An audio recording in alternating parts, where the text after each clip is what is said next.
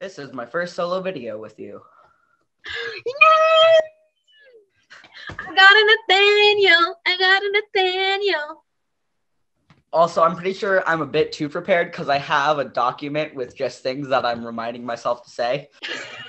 You're more I'm prepared, more than prepared I than am. you are.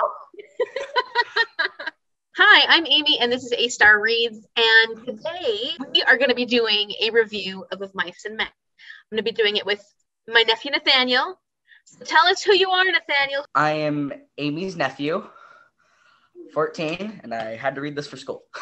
And I made you buddy read it with me. Yep, exactly. Was that the worst experience ever? No, but the questions I got for the book were definitely a lot easier than the questions you asked me. Fair the enough, questions fair from enough. school, I just had to, oh, hey, what's an obvious answer? This one, and not the ones that don't make any sense. With Amy, it's, okay, so how does that make you feel? oh, is that it? Explain your thinking. Yeah, I'm a pain in the butt, aren't I? Yes, you are. Let's first give a description of this book without giving spoilers. Without spoilers. Yes. Okay, so the main idea of the book is you're following these two characters around George and Lennie. They're best friends and they're working through Southern California. Yeah, yeah. So they end up on this ranch where they work for the next week. And I don't know how to go from there without spoiling anything. oh, right. Okay, yeah. So they also meet some of the workers there and the boss, who is Curley. Not the best person, you would say. But then you have the four other people who are working there. There's Carlson, who isn't very important to the story. You don't talk to him much other than one time. Uh, you have Slim, who is kind of the leader there, who gets respect. And then we have Candy, who is an older guy there and ends up becoming more friends with George and Lennie. Then you have Crooks, who is in his own place, and he's the stable buck. And One more. Curley's wife. Yes. And you have Curley's wife, who is treated pretty badly in the book. But later you learn more about her and you understand who she actually is. Can you tell us a little bit about Lennie and George? Actually, a good way of actually explaining these two, I think, is if you've seen it, uh, Animaniacs Pinky and the Brain. Good. You got the That's shorter perfect. one, who's more the brains of the whole operation, and then you got the stronger, taller, and not as smart one. Wow, Nathaniel, that is a great comparison. I never even thought about Especially because I'm pretty sure most of your audience will understand that. yes, Pinky and the Brains is perfect. And that is very accurate because George is the one who is kind of taking care of Lennie and is the ringleader in a Yeah. sense of their little buddy group. and then Lennie brings the heart. You know, Yeah. kind of like Pinky brought the heart. yeah. Also, if you watch the new reboot, then you can see that it's even more similar because in that one, Brain actually kind of cares about Pinky instead of just being an asshole. I've never seen that reboot. It, reboot. Is it any good? I haven't seen it either. I just remember seeing a clip. It was like kind of like their past, and at some point, Brain remembered it, and then he felt bad for Pinky. Actually, that's pretty accurate to George and Lennie also because you know George made fun of Lennie when he first knew him. the turning point for them was George jokingly said, because Lennie couldn't swim well at the time, at least, uh, told him to grab something from the river, and he ended up almost drowning. And then at that point, George was like, "Oh, he trusts me. I should take care of him." And then they, that's where we kind of go into their friendship. You remember a lot more of this book than I thought you were going to. I ha- this is like the first book I've read in a while. I read the same books over and over again. what are some of your favorite books, just so our, our friends know here? Whew, what are ones that someone would actually know? Series of Unfortunate Events. There you go. Thank you, Mom. I will say there's another book that I read that I did like. If you're the faint of heart, you shouldn't read it. A Dog's Purpose. I remember you telling me about that. Yes, it's so sad. Did you cry? Yes, multiple times. Did you cry for this? Mom, uh, I did not cry. My mom is also shaking her head, agreeing with me about me crying to a dog's purpose. Okay, so I think Nathaniel pretty much covered it all. This is a story about Lennie and George and their buddy relationship. They end up going to this new farm where they're doing some work and things happen. And we follow that story. What is your review, Nathaniel? I mean, it was I liked it. I also liked um with John Steinbeck. This is the first book I read of his, but he seems to really care about the setting and the mood of each individual chapter. Occasionally, it could be foreshadowing, or it could just be immersing you in the story. What do you think about the characters? Did you like John Steinbeck's characters? Did you think that he did a good job of describing them? I think the characters were great. Like the pairing between George and Lennie, that's uh, it is a used pairing that you've seen mul- that you've seen a few times, but I don't know because this book came out a while ago. But we've seen a few characters like that, like Pinky and the Brain, for example.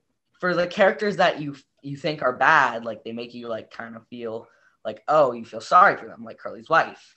For almost the whole book, you kind of hate her, like she's she's seen as everyone in the book as well as to be not a good person and then at one point she starts actually like you she talks about her character herself and then you understand that no she's just misunderstood she's not actually this horrible person that we think she is you think that uh, john steinbeck was really intentional in the way he made the characters in order to make a point as for you well some writers yes i just want you to have a story and it helps you escape.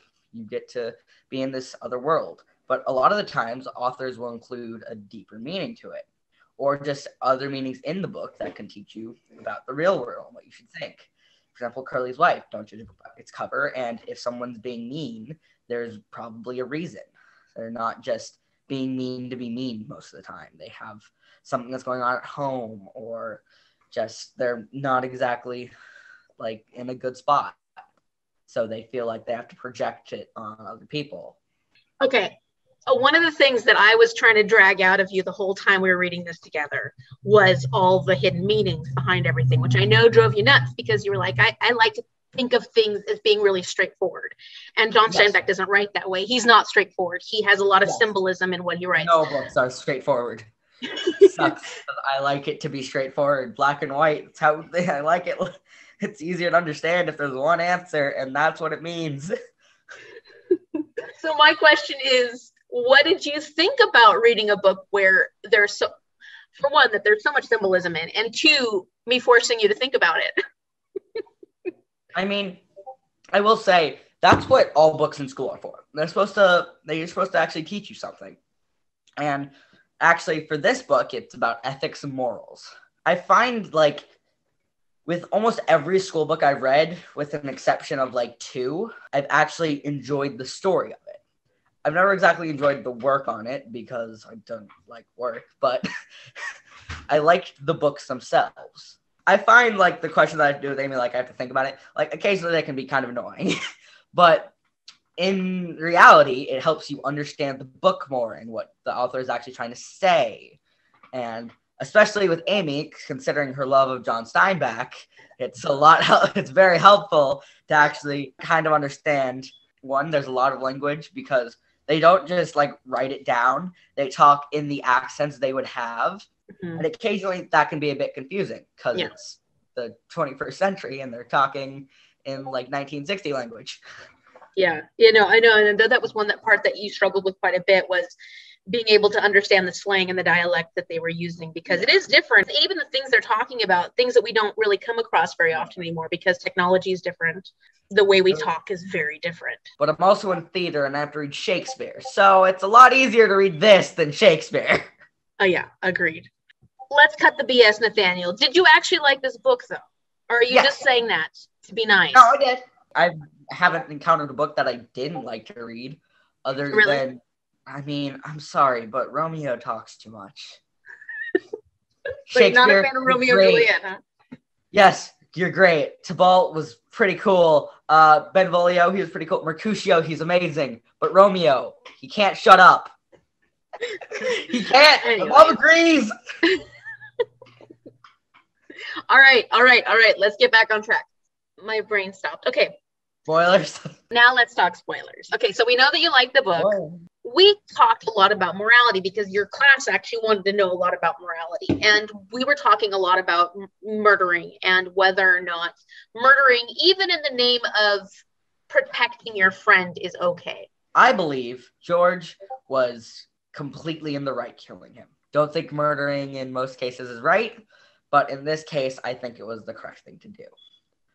Mostly to spare Lennie mentally and physically. Physically, because if he hadn't shot him like that, Curley says that he was going to shoot him in the gut. I don't know if you know this, but that's not going to kill you immediately. it's going to be a painful death and not a clean Yes. death and he would be wallowing in pain. And knowing Curley, he probably wouldn't kill him outright. Yeah. Because he's upset. yeah So that would be sparing him physically and also mentally. If George and all of them came at the same time and Curley shooting him, then Lennie would realize that George betrayed him. Yeah. And having your best friend betray you ain't fun. no not a good way to die I, don't The think only- Amy would be happy if my mother betrayed her. better not i'll kill her no just kidding Uh, especially we got from the foreshadowing with Candy's dog. There was this conversation around what is right and what is wrong. And is it fair for this dog that she's living this life of pain and exhaustion and, and whatnot? And what's the best way to end that life? And, th- and that question came in consideration in the end, the same exact question. What's the better way to go? When what's fair and what's right? And I agree with you. I feel very strongly that if Lennie had been betrayed by George, it would have been more painful all around. Like it was obviously painful for George, for him to have to shoot his best friend. Yeah. But even more so if he knew that his best friend died feeling betrayed. because of him, Yeah. he died painfully. Especially because Lennie doesn't understand. He knows what he's doing is wrong in a sense that people have told him it's wrong, but he doesn't understand it. I made a big deal with you about talking about Curley's wife. And I know that that was a conversation we went into a lot of detail in, but that was because I told you that I had heard that people who've been watching the play of Mice and Men like hate her so much that they actually laugh when she dies. And to me, that was really distressing because I see her as a character who maybe we hate when we read Yeah. about her in the book, but I feel like she's very misunderstood. like yeah you're taught to hate her because she's kind of being weird with lennie and yeah and everyone talks shit about her. And when you when you hear what they're saying it makes sense. But then at the end it's like oh that everyone was wrong and she's just she's not with the best husband. And if she talks to anyone else that's not a girl then she looks like she's a tart. Or, yeah that's what they use. That was the term they use a lot in the book. Yeah. I- Yeah, it was really sad because even though she may be annoying, she says horrible things about crooks. She does terrible things. I mean, she's not doing good things, but she's not a happy person. She doesn't have a good life. She doesn't have any opportunities. She doesn't have any freedom or any rights or any choice in what she does. And what she wants more than anything is attention. And for her, in this case, the only kind of attention she can get is the bad Bad. kind, but at least it's some, right? but yeah and that was the intention is is to say like you know i know we see these people as bad people but there's reasons for it. Last question. Are you Yeah. ready for this? Are you ready for this? Dun, dun, dun, oh no no sorry. Somebody- might also afterwards explain more about ethics and morals because Okay. We considering this book was written in 19 uh, 1937 i think. Oh Right. 30s. do you feel that this book is valuable for you as a person to read today in 2021 The actual things that are happening in it aren't you can't really compare those two today because even with George Mercy killing Lennie, that would not hold up in our society. i hope not I will say the actual like meanings behind everything, yeah, that can be kind of compared to today. Like the actual, not directly the problems, but what the problems are kind of about. Mm-hmm. those can kind of be compared to by today's standards. Tell me more about morality and society, Nathaniel. Thank you. In the world we live in today, you are taught at a very young age to conform to the rules of society. Like sometimes you don't do things because you feel they're the best for everything. You do things because you are forced to, and if you don't, you're punished. For some things that make sense. Like, I'm sorry, but I don't care if you think it's okay to murder someone. Usually it isn't. some cases it is. Most of the time it's not. There's a lot of things with society that if you think they're right, it doesn't matter unless society agrees with you. How do we tie that into what we were already saying, Nathaniel? I don't know. I ethically and morality, I can kind of relate that to the book. I don't know how I related that. the way you related that to the book when we had our discussion was we were talking about the morality behind murder and how from a moralistic perspective we can understand why George killed Lennie and we feel like in that situation it was the right thing to do. But, but doesn't matter because society disagrees. There's always those questions of morality which are kind of complicated and tricky because individually we may feel something very specific about how we feel about morality, but we have to kind of live by the rules of society or else we're ostracized or get in trouble. For example, probably the most famous ethical slash moral dilemma, the trolley problem. I talk a lot about this. Yes, Nathaniel so, likes trolley the trolley problem. problem. Yes, I do. I love this kind of conversation. so the trolley problem, if you don't know, is there is a train, it's called trolley, that's heading towards five people working on a railroad. And it will hit them and kill them.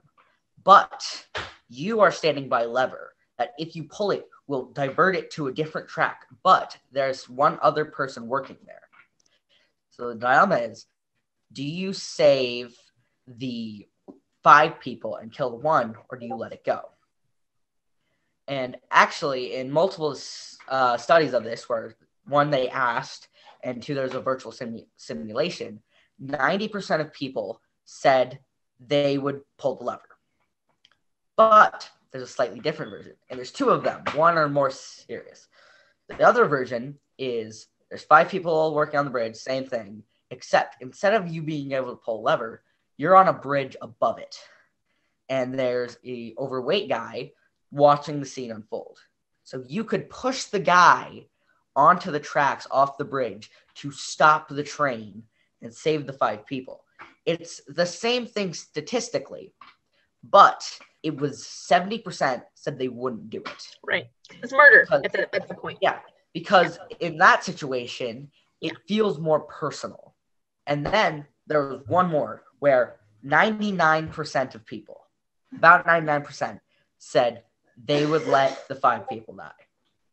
Because this one's a lot more morbid when you think about it. So you have five guys who are all missing one major organ and they need it. And if they don't get it, they'll die. But there's another completely healthy guy in another room with all the organs that you needed. Like one's missing heart, one's missing lung. And the question was do you perform an autopsy on the one guy to save the five people? Again, statistically, the exact same thing. But almost no one said yes that they would do it because at that point it's even more personal.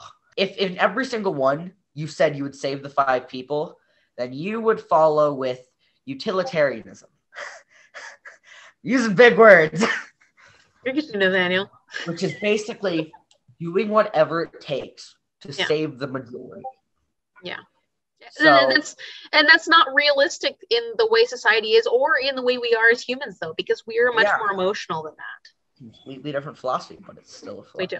I mean, these are these are the dilemmas that make morality questions so difficult, though, and that and that's it's similar to what Steinbeck is trying to think about or look at in this book. He's really trying to look at what is right and what is wrong morally, and really, can you make that decision easily? It's not an easy decision. It's very complicated. I feel like what's happening now is I'm talking about some like random stuff that actually is kind of smart and then you actually have to do the hard job of making it connect to the book Yeah, Nathaniel, I'm trying to keep us on topic. I know this is hard Yes. for us, but we have to stay on point. Hey, if it helps, only one more thing I have to bring up. Okay, Sure. one more thing. Okay. So, It's about the book. okay. So, You make it relate to the book. it's moral and ethical stuff. Okay. Uh, so kind of. Shush, okay? You're uh, making my job hard. I know I do, but it makes my job more fun. Earlier, I said that most of the time I follow what is utilitarianism, but some people will strictly follow it. Random trivia fact time there was this 1700s philosopher named Kant, K A N T. This morally is talking about lying. So, at first glance, you would think, oh, you shouldn't tell a lie, like almost never. That's what he thought. He thought no matter what, you should never tell a lie but sometimes we do. Like sometimes it makes sense that we should. Um, for example, if some random guy is asking, "Hey, where do you live?" I don't think you want to tell him your real address. Someone brought this to him, and this was probably one of the bigger things that he was asked. If a known murderer came to your house and asked where your friend was to kill them, would you tell him the truth? For almost, I at least I hope everyone watching this, you would lie Yeah. he thought you should still tell the truth that, and that the murderer's actions were not your fault. He was an extremist. Yeah, a bit. Yeah, just a bit. It wasn't that. I don't know Uh, how to bring that back to this, Nathaniel. Uh, morally and ethically, bad things couldn't be said for the for a good reason. Yes. Something considered bad can be used for good. Yeah, no, that's a good point. And in this case, what we would consider bad, murdering your friend, is actually the more humane choice. Well, not good, but better. Humane, Overall. more humane. You know, of all the bad outcomes, it gives you the the least worst outcome. All right, Nathaniel. Well, I think we beat this book Yeah. pretty bloody, A lot of stuff that wasn't this book. and we we went off on random. You went off on random tangents. Yeah, I was Thank about you to say. I read about stuff not completely relating to the book. But they had to do with morality, which was a big portion of what this book was all about. We were talking about morality, entire unit was. and then the book also talked about what is ethical and moral within the society. What is moral and ethical about how Crooks is treated, about how Curley's wife is treated. We we have questions about what is correct, and that has a lot to do with the time, but it's pretty applicable to what we talk Yeah. about nowadays. Like it doesn't, it hasn't changed much. Like the actual dilemmas, yes, that is something that might happen. But the actual like way up to it and how they were handled different. Yeah, I mean it's different Like time. back then, what George did might have actually slid. Now, not at all. Yes, I agree with you, Nathaniel. I think that it is a valuable book for the lessons you learn. It it does not necessarily reflect how time how things are now. Thank you so much, Nathaniel. Will you ever read another book with me again? Uh, probably because next school book you'll probably make me buddy read with you. Well, everybody, you- that's what you have to look forward to. So if you like this video, click the like button. Subscribe if you want to see more of my handsome, charming young nephew, Nathaniel, because he has a lot of thoughts and opinions. And uh, Subscribe if you want to hear 30 minute rants about something that's not related to the actual point of the video. exactly. Thank you so much for watching, and we will see you later. Bye. Bye.